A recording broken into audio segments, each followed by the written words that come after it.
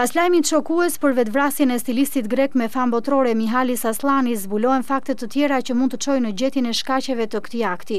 Në një nga letrat e gjetura në shtëpinë e tij, stilisti shkruan se dy femra që menaxhonin biznesin e tij njëra prej tyre shqiptare, jo vetëm e shkatërruan atë financiarisht, por u zhdukën pa lënë gjurmë. Sipas letrës, vajza shqiptare, emri i së cilës nuk bëhet i ditur, kishte një marrëdhënie të ngushtë me gjashtëdhjetë e pesë vjeçarin, që e kishte ndihmuar të përfundonte studimet për kontabiliste dhe më pas e kishte punësuar në biznesin e tij, ndërsa tjetra ishte punëtore në shtëpinë e tij.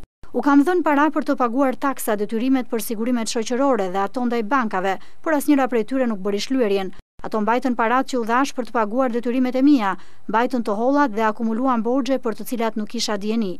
Një miku im llogaritar më paralajmëroi, nëse do të kisha vepruar më parë, do ta shpëtoja veten, thuhet në një nga letrat e lëna përpara vdekjes nga stilisti.